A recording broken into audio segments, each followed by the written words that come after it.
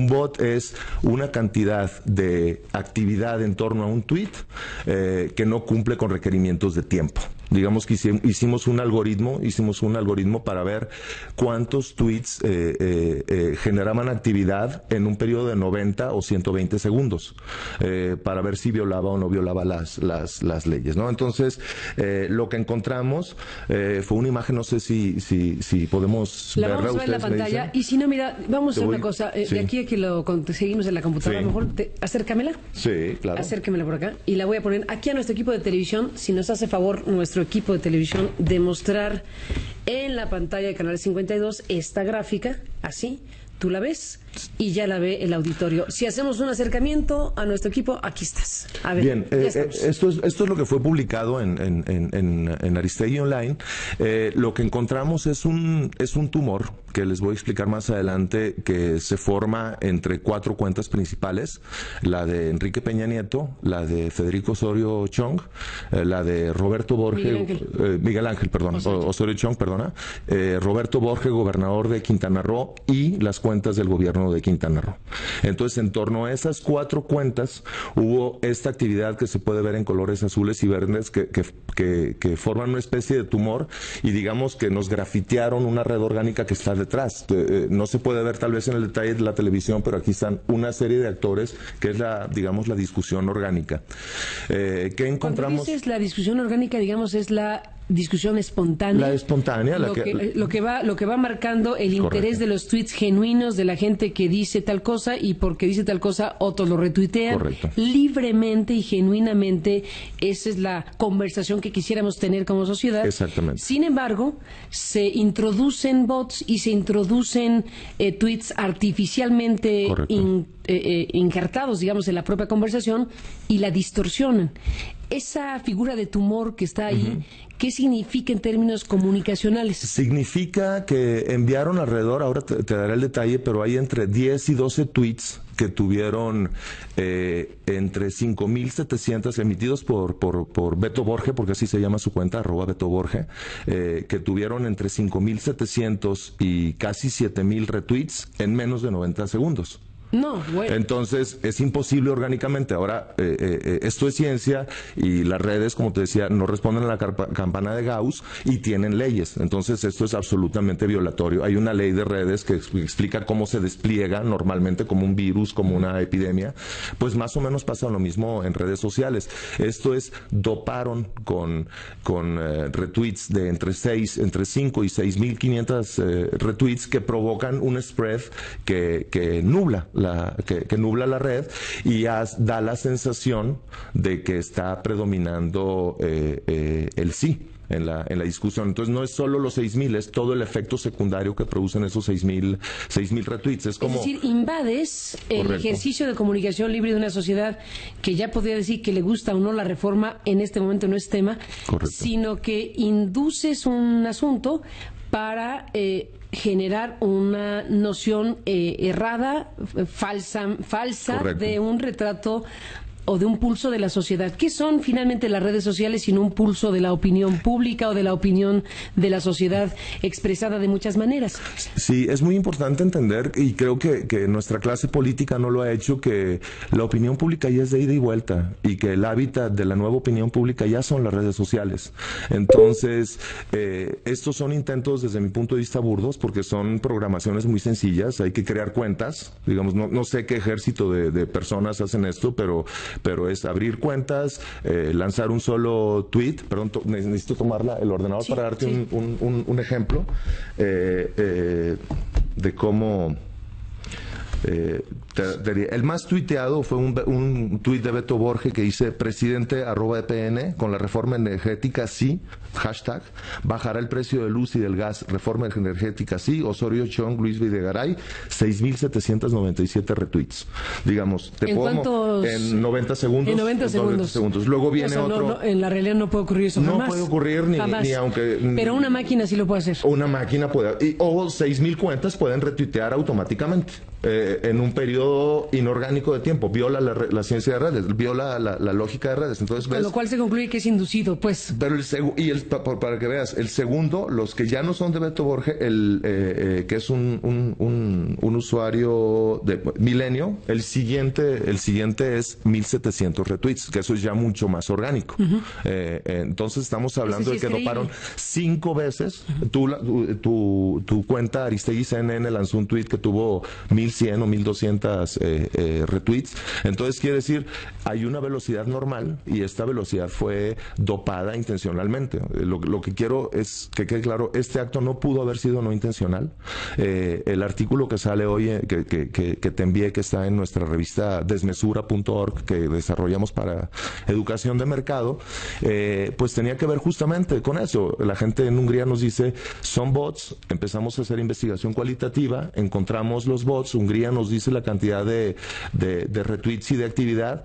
Y entonces, es decir, Carmen, es, es, como si vinieran eh, lo que nos están haciendo en, Twitter, lo que nos hicieron en, este, en, este, en esta este foto en Twitter es como si vinieran a desconectarte el micrófono o, viniera, o no vendieran papel a un periódico o como si te taparan una cámara de televisión. Entonces, nos están contaminando una red que sirve para comunicarnos mejor, pero pues también creo que es importante lanzar ese mensaje de que pues es que esto se puede leer, ¿no? Eh, eh, eh, no es como una encuesta lineal de preferencia electoral, los estamos observando, se pueden ver, nosotros no los estábamos buscando, no era uh, cuando hicimos con tu equipo de Aristegui online todo la preparación, jamás pensamos en bots.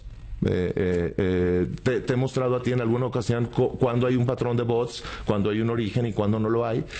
vimos un ejemplo hace algunos meses y aquí no, no, no hay duda. Este es un tumor que está yuxtapuesto sobre, sobre encima de la, de la discusión orgánica. Porque si, si ves simplemente en la imagen, un poquito a la derecha de Beto Borges aparece el universal. pero el universal no toca a Beto Borges. Entonces nos perdemos la línea de con quién conectó debajo de este tumor el Universal.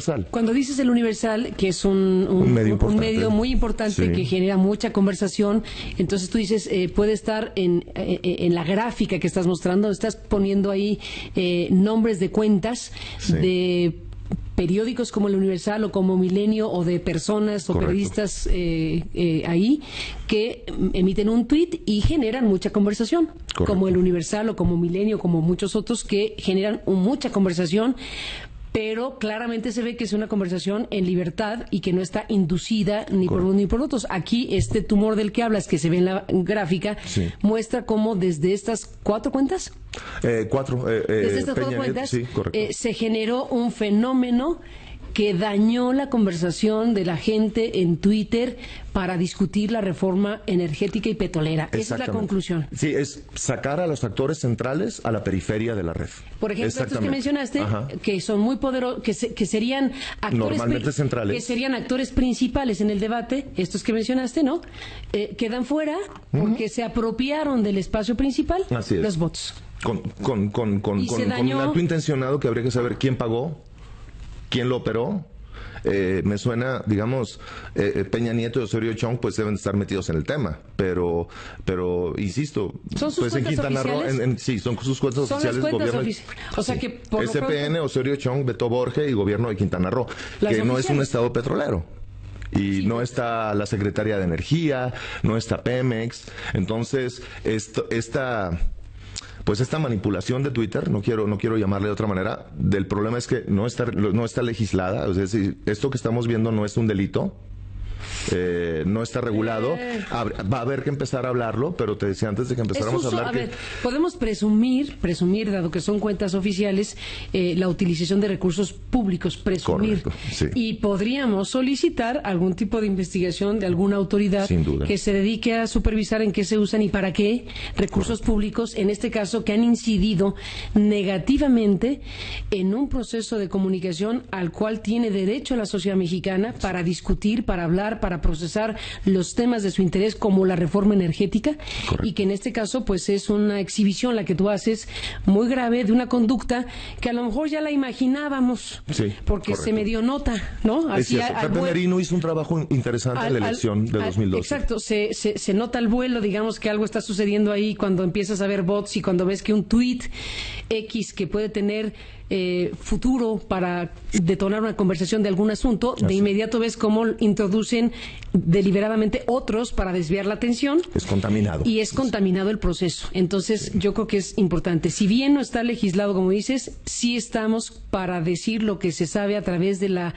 ciencia de las redes. Y tenemos que, cuidar nuestras redes sociales. Yo creo que lo que tenemos que hacer, algo, algo que me hizo pues, pues venir contigo, es que creo que tenemos que cuidar ese espacio de libertad que nos costó, bueno, lo construyó la tecnología, pero tú sabes el poder que, tiene. ¿Cuántos ladies y gentlemen seguirían en la, en la calle si no hubiera sido por las redes sociales? Y muchas otras cosas. ¿Cuántas noticias no hubieran llegado a la calle si no son por las redes sociales? Entonces tenemos que defender el espacio de libertad. Y denunciar. Y, denunciar. Cuando se ensucia de esta Y solicitar que esto eventualmente sea un delito, porque debería ser un delito si alguien viene de gobernación a, desconectarte el micrófono. Entonces creo que es de, la, ¿eh? es de la misma gravedad. No, eh, bueno, que no le vendan, que no le vendan, que no le vendan papel No se les vaya a ocurrir porque sí, el fin de año está durito, ¿eh? Sí, sí, sí, estamos, estamos viviendo un periodo de, de, un semiconstituyente y, y, y lo último que escuché creo que creo que soy una persona que, que, me gusta enterarme y solo escuché no porque no y sí porque sí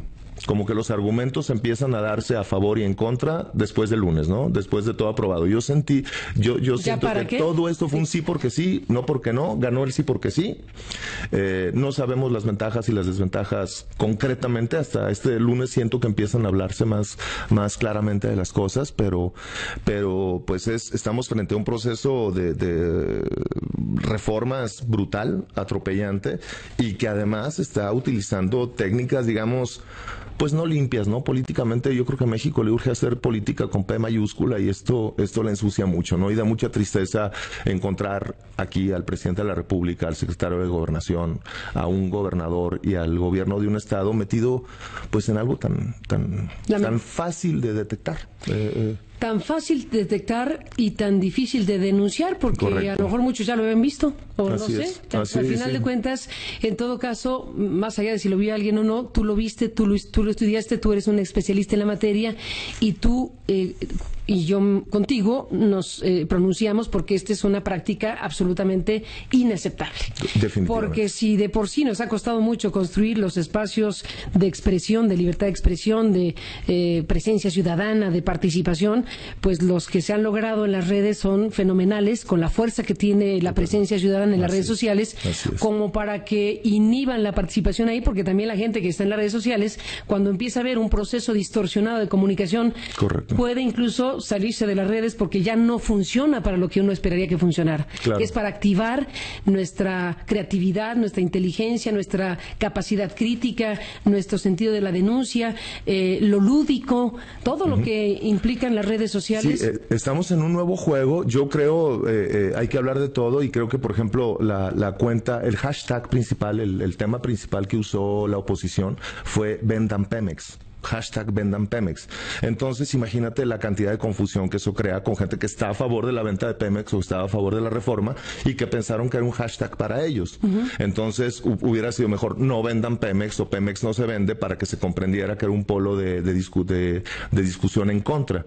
Pero cuando entramos al detalle de vendan Pemex, pues encuentras 50% de opiniones a favor de la venta de Pemex y 50% de oposición. Entonces, eh, la ciencia de redes y la gestión de redes está en pañales Carmen, pero tendremos que aprender incluso a diseñar hashtags para empezar a, comunicarnos, ¿no? Te dejo la tarea. Sí. Diseñate un hashtag para después de la pausa, después de lo que dijiste. Perfecto. Después de la pausa regresamos.